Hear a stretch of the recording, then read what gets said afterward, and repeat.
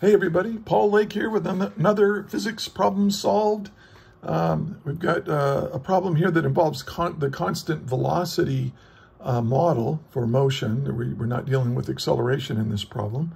So this is kind of an early in the first semester kind of problem. Let's read the problem. Destiny is uh, eating lunch at her favorite cafe when her friend Jada calls and says she wants to meet her. Jada is calling from a city 55 miles away and wants to meet Destiny somewhere between the two locations. Jada says uh, she will start driving right away, but Destiny needs 10 minutes because that's how Destiny is. She needs 10 minutes to finish her lunch before she can begin driving. Jada begins to drive at 65 miles an hour, whereas Destiny usually averages about 75. Ignore acceleration and uh, uh, assume that the highway is a straight line. So that, that's just like, we're going to simplify this. How many minutes will Jada be driving before she meets Destiny? And um, how many miles will Destiny have traveled uh, when they meet? And here, look, notice that time is measured in minutes. So we're going to, now, this is a, a fairly common type of problem that you'll see. And sometimes it'll even have acceleration in it, you know, and um, but where one of our actors, uh, in this case, um, Destiny, is not going to start motion at the same time that the other actor is, in this case, Jada. So Jada's going to start moving right away, and Destiny's just going to sit there for 10 minutes. So, and then, uh, then uh, Destiny's going to take off, and then they're going to meet. So there were, there's really kind of two time intervals to worry about. There's the time interval where uh, Jada is moving and Destiny isn't. And so we can work on that. And then, then we can figure out how far apart they are once Destiny starts moving. And so we're gonna, I'm gonna treat that as like a separate problem. Um, okay, so let's get started. Um, and by the way, um, I, I, encourage you to pause the video now, try to solve this problem on your own. Um, here's the constant velocity model that you'll need. And um, we are going to be doing some unit conversions here, so you should be familiar with that. But pause the video, give it a try, and then restart it. Um, I did get this problem from one of my tutoring uh, students. I, um, I, I, I, tutor students in physics and math, and uh, that's where I get my problems from. So uh, here we go. So given, so uh, I'm going to call this like part one. Here's, um, we'll, we'll call this Jada, and I'll just put a J for Jada. And Jada takes off, and the velocity of Jada is uh, given to be 65 miles per hour. Now for the first 10 minutes or so, when and they're, well, they're 55 miles apart.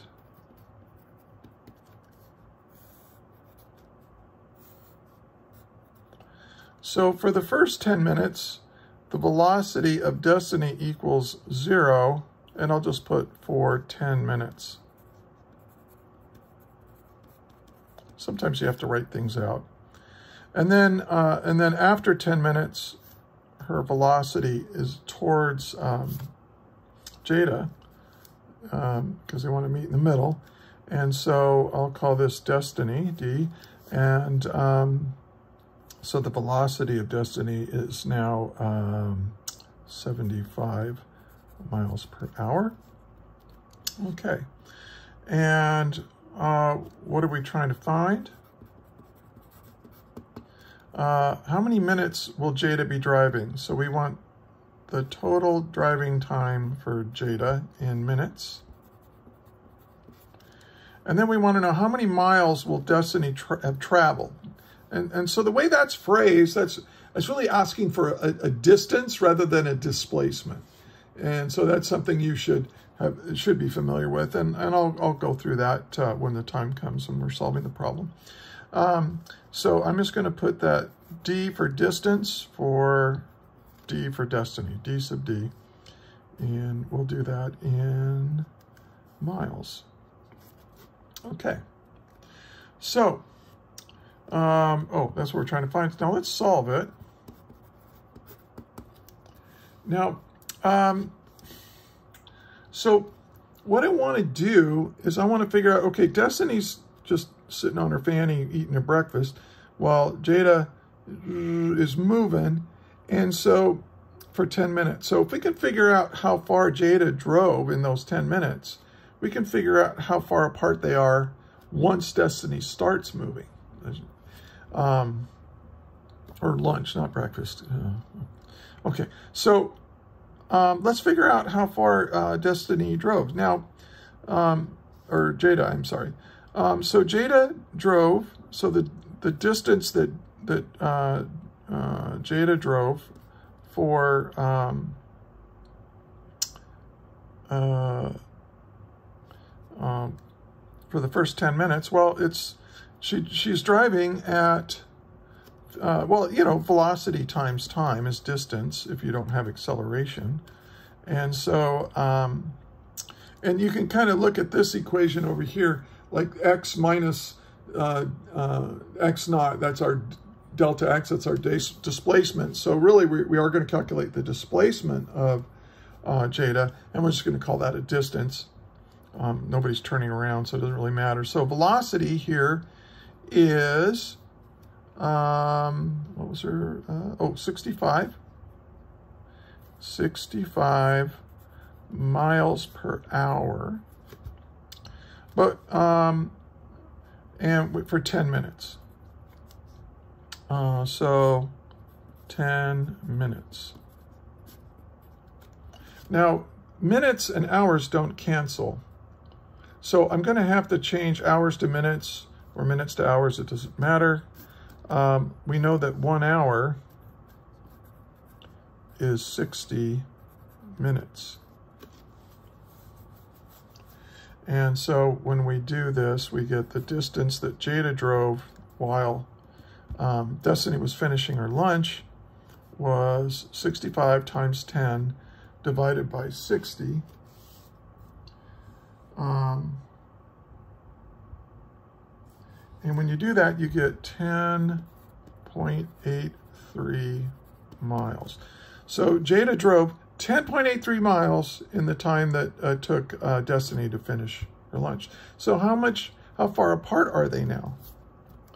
So, well, they were 55 miles apart.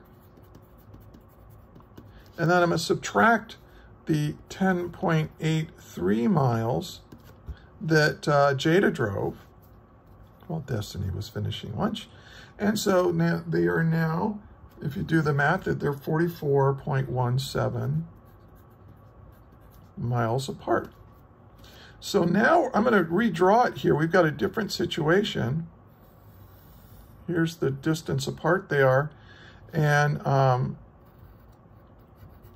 uh, oh, and that distance is 44.17 miles.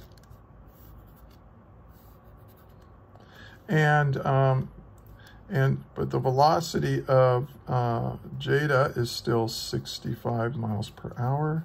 I probably should have converted it into miles per minute, but um, but that's okay. And then this is the velocity of Destiny now is um, 75 miles per hour. And they're going towards each other now. Now, when they collide, well, they're not, hopefully they're not going to crash, but you know, when they meet, and this is kind of an idealized situation, when they meet, I think you can see that, that Destiny's going to go farther because she's going a little bit faster than Jada. So they're probably going to meet somewhere around in here. And this is what we're trying to find, the, the, the distance that Destiny traveled. But if they're at the same place, here, here's what I can say. And I'm gonna, um, now I'm going to use this model. I'm going to make this my origin. And I'm going to say for, uh, for Jada, the position that Jada is at is equal to her initial position, which for, for, for Jada is zero. Jada is at our new origin. So Jada is at zero.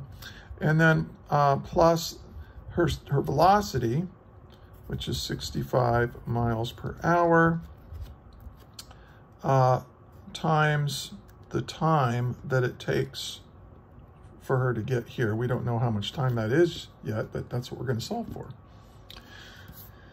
Now we can apply the same model, the constant velocity model, to, um, to destiny. So the position of destiny, it is your destiny, is, now she, she starts over here, uh, 44.17 miles away. See, that's the, her position when time equals zero. Okay, and, and then we're going to add to that her velocity. Now you got to make sure, now treat this like a velocity, it's in a negative direction. So that's going to be negative 75 miles per hour times time. Now, here's the thing that you've, you've, you've got to understand. When they meet, like, bam, let's say they collide, um, right here, they're at the same position. In other words, when they are when they arrive, when they meet in the middle somewhere, the position of Jada is equal to the position of destiny. So this is going to allow me to, to say, oh, well, the position of Jada as a function of time is this. So we'll just leave off the zero. And I'm going to make some room by writing it over here. Miles per hour times time. And that's going to be equal to the position that Jada is at, which is 44.17 miles minus 75 miles per hour. Now we want to solve for time. Oops, times time. We want to solve for time because we're, we're looking for the time that's one of the, the time that Jada was driving. Now, this is the time that Jada was driving after Destiny got started. So we're going to have to remember to add 10 minutes to our answer here. But for right now, they, they meet at the same time. So let's solve for time. Uh, I'm going to add this to the other side and factor out the time. So we're going to have time is equal to 65 miles per hour plus 75 miles per hour. Okay, so I just kind of brought this over. And I'm going to add these two together. And that has to equal 44.17 miles. And so now I can solve for time, which I will do, I'll do over here. Um, so time is equal to uh, 44.17 miles. I'm going to put that over 1, and then we're going to divide by this sum. Well, 65 plus 75, oh, let's see, 5 plus 5 is 10, so it's 140, right? 140. There, really what this is, or, and I don't want to put it as miles per hour here, but what this is, this 140, this is the speed that they're approaching each other at. And, um, you know, I mean, one of them's driving, one of them's driving 65, the other one's driving 75. So it's like they're approaching each other at a rate of 140 miles per hour. Okay, now we want our time to be in minutes, so we're going to have to get rid of the hour. We know that in one hour we have 60 minutes. And look at how the units uh, divide out here. We have miles canceling miles, hours canceling hours, and I'm left with, oh, not miles, that's minutes. I'm left with minutes here. And so that's going to be close to our answer. Um, so uh, let's see, uh, 44.17 times 60 equals divided by 140 equals 18.93 minutes, because that's the units we're left with. Now, really what this is, this is how much time Destiny was driving, isn't it? right? But, uh, and they were driving for the same time, except that in the first part, uh, Jada was driving for 10 more minutes. So the time for Jada is equal to 18.93 minutes plus 10 minutes. So the time that Jada was driving is 28.9. Uh, we'll just round it off to three significant figures, 28.9, and we'll just round away, round that off, minutes. And there we go. So Jada can now make her, her travel plans. She knows how fast. Now, let's figure out how, how far um, uh, um, Destiny drove. And if we want to, remember, distance for Destiny, the distance is just our speed times time. We were going that speed. Or you can think of speed, usually it's, it's like this, speed, which I'll, I'll write as V for velocity, but there's no vector hat on it. It's, it's, um, but is, is distance over time, right? That's, and, and that's really average speed. And that's what we're dealing with here. So the distance that Destiny drove, well, she drove at 75 uh, miles per hour. I keep doing that. I don't like that. I like miles per hour. Now, she drove for uh, 18.93 minutes.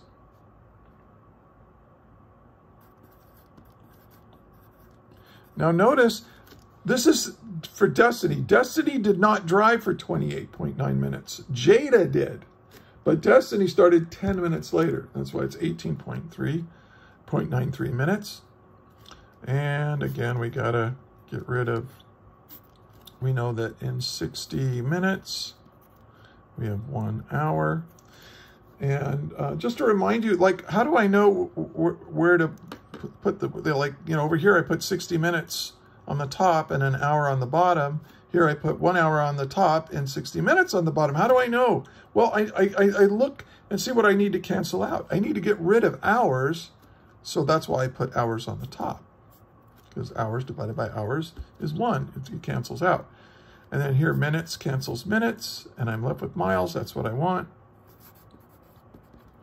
So when I do the arithmetic here, uh, 75 times 18.93 divided by 60 equals, and I get 23.6625. I'll round that off to 23.7 miles. That's how far Destiny is going to drive. You know, she's after she takes off. So let's look at the whole problem here. And here's the, the problem solving strategy here uh, that I like to use is that um, sometimes you have a change in behavior during a problem. You have an, uh, an object that is moving um, and then an, another object isn't moving and then and then after a time period uh, the other both objects are moving or you know the objects can change their motion in some other way but if that's the case just just do the problem in two steps. Like the first time interval, take care of that, then kind of adjust what you know, and then and then uh, solve the problem from there. So, uh, well, anyway, hopefully that all makes sense to you. Uh, again, I am a, a, physics tutor, so if you need one, uh, look in the uh, notes for this. There's uh, it's going to be a link to a Google Doc that will um, allow you to get in touch with me. And uh, I also have a whole collection of these videos that I, I'm trying to organize them on a, um, on a Google Doc. So, um, so that's in there as well. And uh, so until next time, take care and um, hey, may the net force be with you.